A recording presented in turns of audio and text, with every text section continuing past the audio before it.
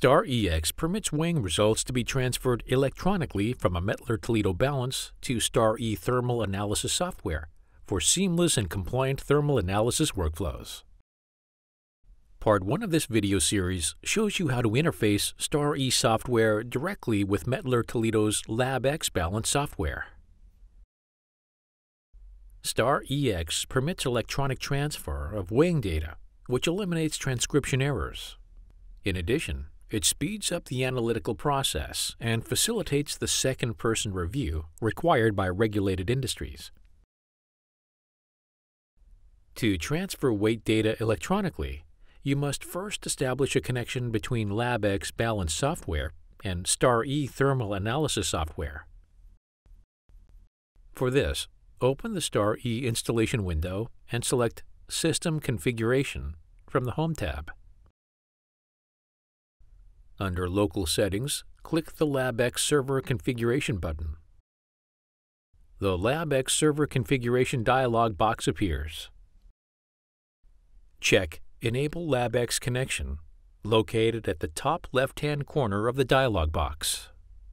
Then enter the LabX server name and TCP port number. Your LabX system administrator can provide you with this information.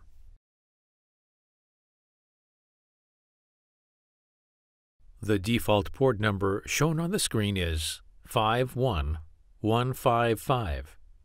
Click Test Connection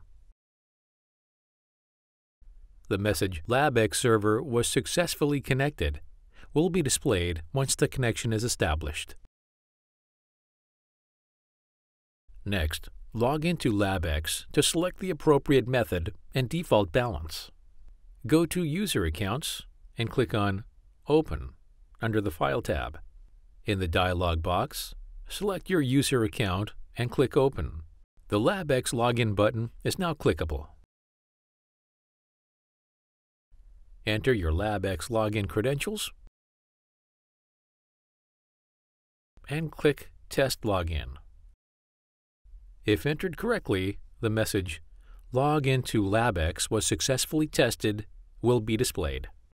Please note that LabX login for method and balance selection is only required if the LabX user management option is enabled. This option is mandatory in regulated environments. Now, return to System Configuration under the Home tab to select the method and default balance. Select the method named star LabX for weighing in samples via LabX. This method is stored on the STARe USB flash drive and must be imported into LabX.